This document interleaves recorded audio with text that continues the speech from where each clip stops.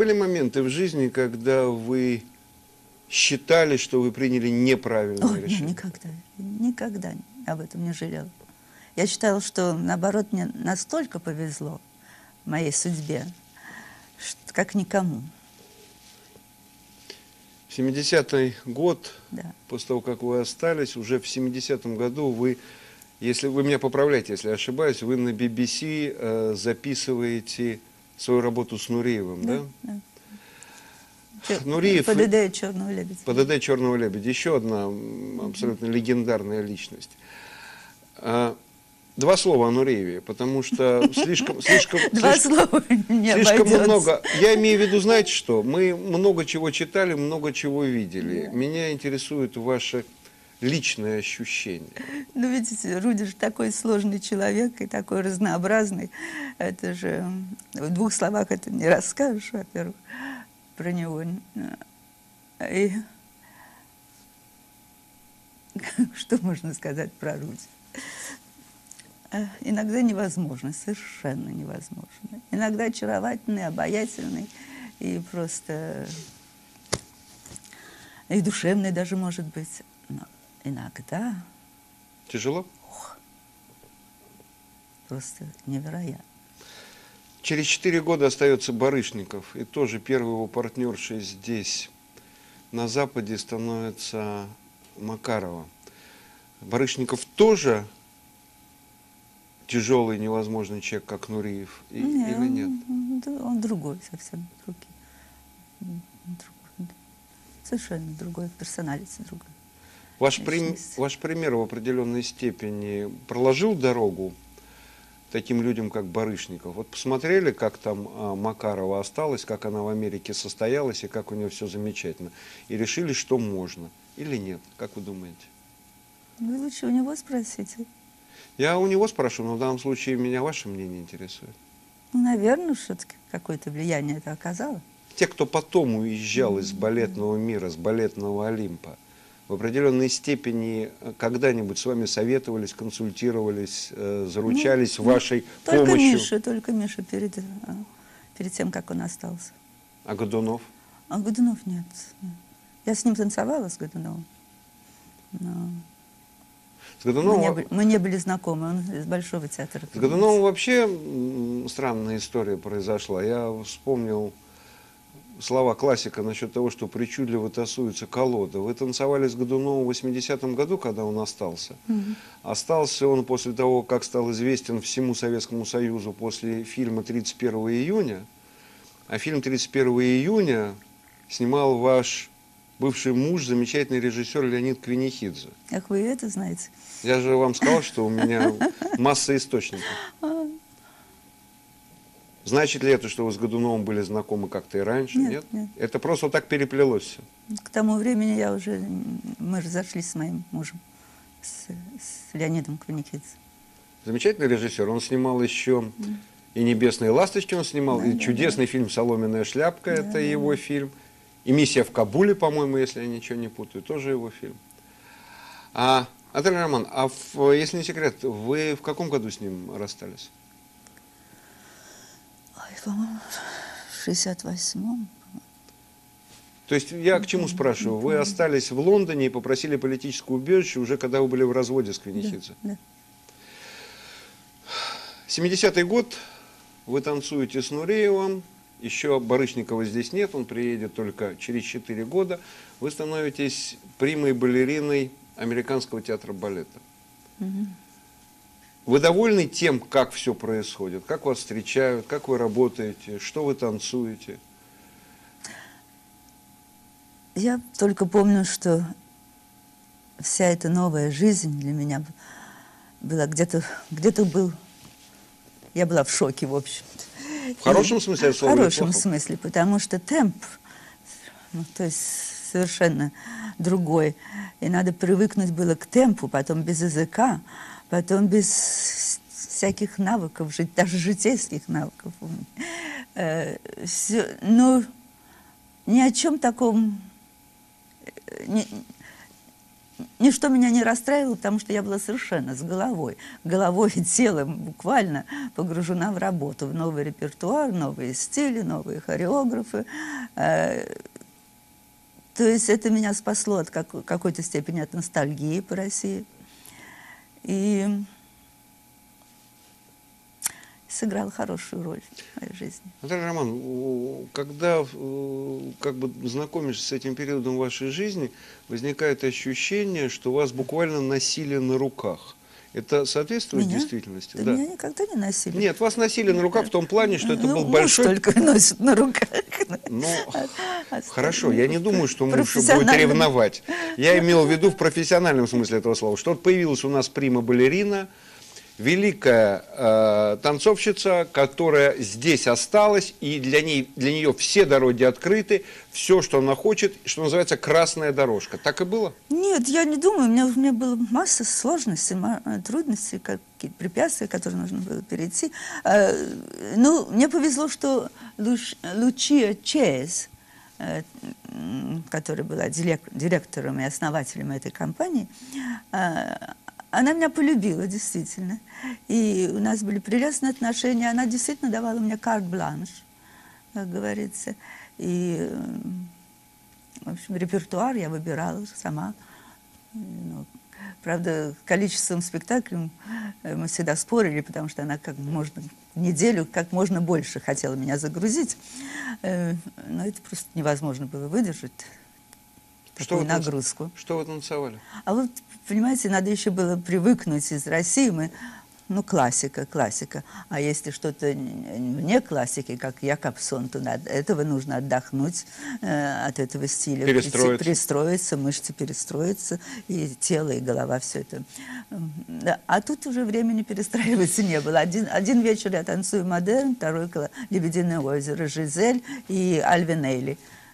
Про вас, про вас писали и говорили, что вы уникальная балерина не только потому, как вы работаете, извините за слово «работаете», но и потому, что вы умудряетесь перевоплощаться в образ каждый раз, как будто первый раз в жизни. Mm. Что далеко не каждая балерина, мягко говоря, при этом является еще потрясающей актрисой. Вы потом в своей жизни доказали, mm-hmm. что вы и как драматическая актриса человек безумно талантливый. Спасибо. А, да это не мне, я просто факт констатирую. Если бы я хотел вам что-то приятное сказать, тогда вы могли бы меня поблагодарить. Ну, это очень приятно. Значит, а, означает ли это, что вас еще, в общем-то, и использовали на полную катушку и совсем не жалели? Как, например, вас в свое время жалел, оберегал великий Капсон. Потому что он к вам относился как к своей музе, и действительно вы для него были да. очень важны. А здесь конвейер, производство, и чем больше Макарова на сцене, тем лучше, правильнее, дороже. Нет, как-то я не ощущала, что меня использовали. А если использовали, то в хорошем смысле. Э, было очень интересно. Трудно, да, трудно, но интересно. Дарья Роман, все-таки хочу ненадолго остановиться на ваших э, великих партнерах. Мы говорили о том, что вы и с Нуреевым танцевали, и с Барышниковым, и с Годуновым. Э, судьба Годунова трагична и загадочна. 31 июня он остается здесь, на Западе, начинает работать, получает эпизодические роли в очень известных фильмах. Он снимался там с Брюсом Виллисом э, в «Крепком орешке». Чудесный фильм был «Свидетель» где он играл потрясающе. эпизод, помните, да? Чудный, чудный. И он яркий и интересный.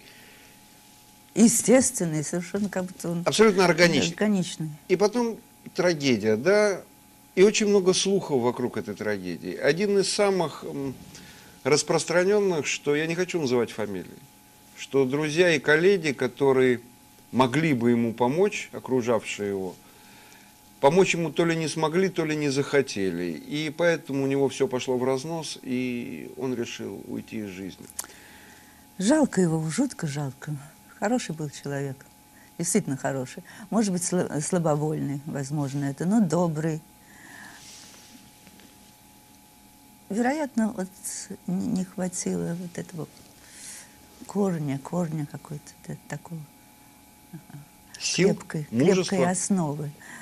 Да. Ну, пил он очень много в конце, в конце своей жизни. Я помню, я хотела его пригласить, э, я как раз делала товарищ э, в Лондоне. И хотела его пригласить, но не могла дозвониться никак. А потом уже через несколько, через год он уже его не стал. Просто никак его было невозможно достать. Но человек очень добрый. Жаль его. Может, это и погубило? Возможно. Доверчивый. Я так думаю, у меня такое ощущение. Вы можете, я понимаю, что вы не захотите обидеть кого-то другого, но тем не менее, из той череды партнеров, с которыми вы работали на сценах всего мира, и в Америке, и в Европе, можно перечислять долго, и Да-да. Лондон, и Париж, вы можете из этой череды партнеров, среди которых много действительно великих танцовщиков, выделить кого-то, кто был самым близким душевно и самым комфортным для вас на сцене, или нет? Ну, я могу начать э, с Иван Нач. Такой был. Это я с ним начала, когда впервые появилась на сцене Американского балетного театра. Э, моим партнером в Жизели был Иван Нач. И так продолжалось многие годы. Изумительный партнер, э, наверное, лучшего, в общем-то, не может быть. И мы были друзья, и мы до сих пор друзья. Э, Хочу еще вспомнить Эрика Бруна. Помните такого Эрика? Потрясающий танцовщик. Э, Да, у нас тоже была какая-то связь душевная. Как говорят, химия. Э, Химия, Да. да. Э, И, конечно, Антони Дау из Королевского балета. Да, это действительно было замечательное партнерство. Мы упомянули э, Якобсона, для Да. которого вы были музой, а он для вас, наверное, все-таки был учителем, потому что э, что бы кто ни говорил, Он, гений просто. да, кто бы что ни говорил, вы ученица Якобсона. Я думаю, что это соответствует действительности. Приятно слышать. Говорят, что у него был страшный характер, что его ненавидели, боялись, что его пытались жить со свету. Это, В работе это, это, никогда не, не сказывалось. это на вашей работе с ним. Это проходило по касательной, это не мешало реализации тех творческих планов, которые у него были в отношении вас. Он ведь на вас балеты ставил. Да, да, но это в отношении меня это что? Э, Ему просто не давали реализовать свой талант, свой гений с той степени, которую он заслужил и, и мог. И всегда были какие-то препятствия, всегда куда-то вызывали, куда-то разговоры, э, разрешат, разрешат, не разрешат. Э, Это я помню хорошо, да. А в работе с ним было легко, интересно. И он лепил из меня, понимаете, я как глина была. Я только что кончила школу, и, вероятно, у меня такое мягкое тело э, и пластика. Вероятно, он это ощутил. Формировал вас? Нет, э, Ну, от лепил. природы у меня э, такой, дал Бог, тело такое. Из него можно лепить. Он пытался в какой-то степени э, какой-то степени изменить вас или вложить в вас не чисто классическое начало. А, ну это, это всегда шутки. Когда на его репетиции встаешь классический арабеск или на пуантах, он говорит, «С- сними, э, сними эту, этот ужас, убери это уродство, говорит. Да. Это было вообще таким его отношением к классике, и он пытался привить его вам или нет? Да нет, нет, это все шутка, конечно. Но он старался найти разные, разные способы самовыражения. Наталья Романовна, говорили, да, о ваших великих партнерах перешли к великим балетмейстерам.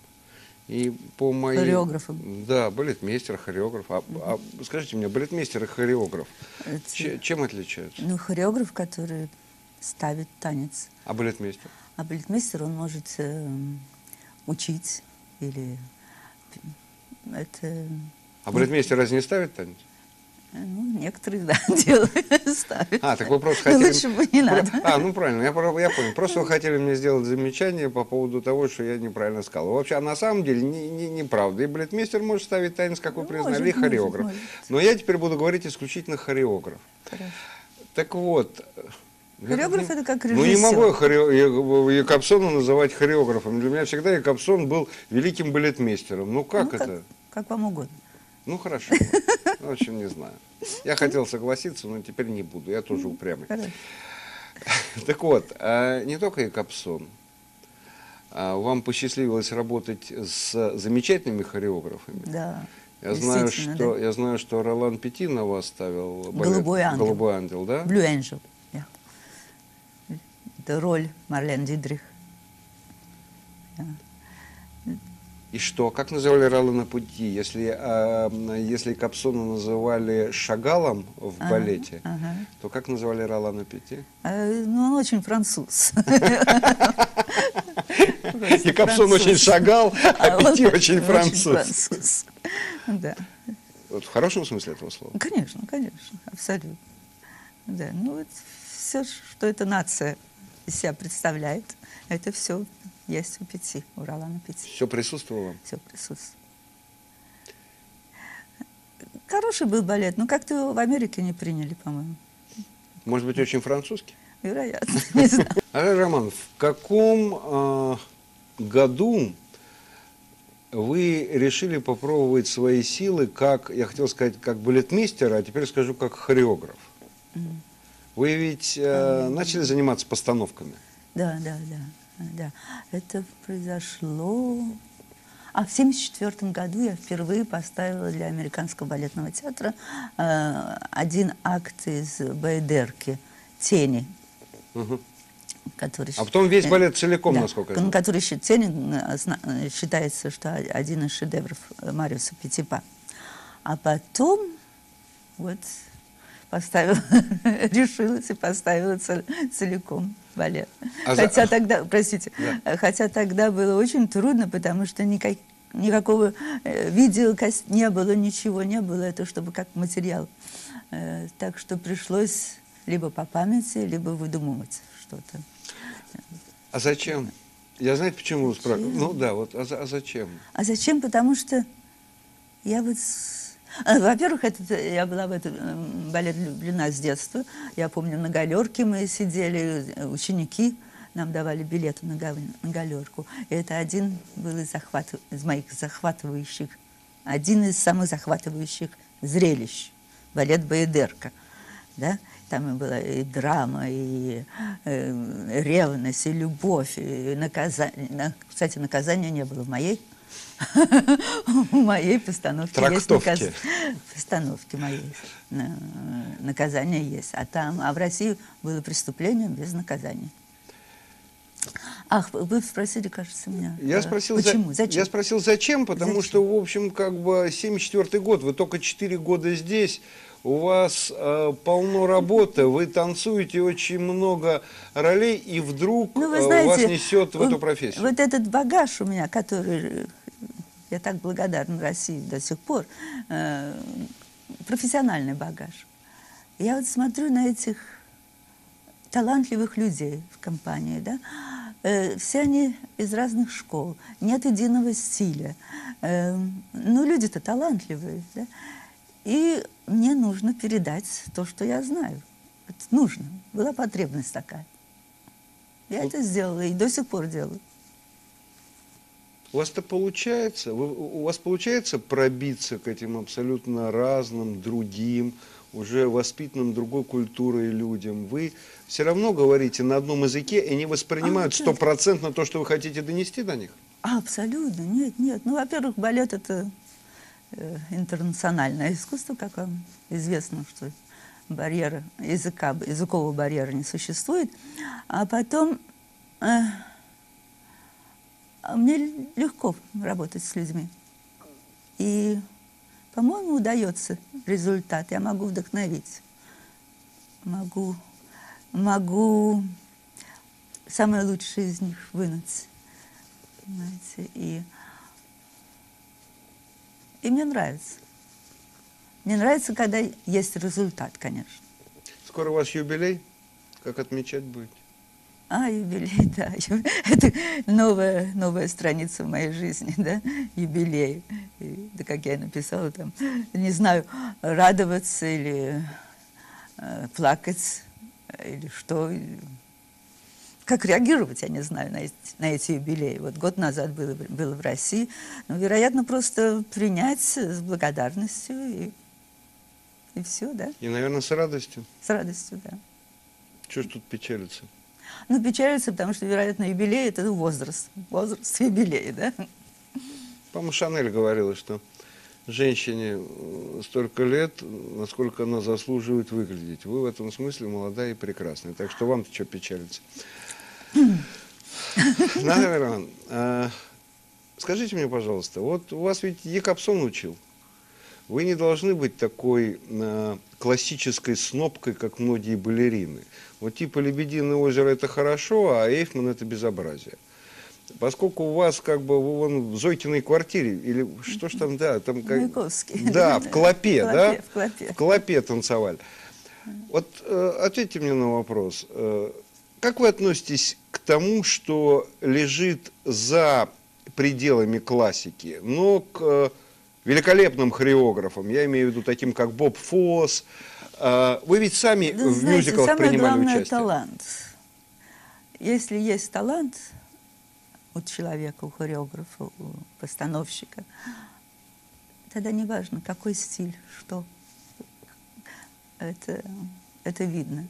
А вот когда... Ведь много же мишуры, много же э, модерн, не модерны. Это Как вы относитесь? Хорошо, хорошо, это общие слова. Давайте я попробую конкретизировать. Как вы относитесь к таким работам, как, скажем, кабаре или весь этот джаз Боба Фосса? Ну, гениально. Абсолютно. Что вы. Спасибо, потому что мне приходилось слышать от знаменитых Ну, что вы классиков, что это не тема для разговора. Ну, как так? Это же это свой жанр, это разнообразие, э, экспресс- экспрессия разная. А я только восхищаюсь, могу только восхищаться. То есть, если бы Боб Фосс предложил вам поработать с ним, вы бы не Господи, ну, отказались? конечно.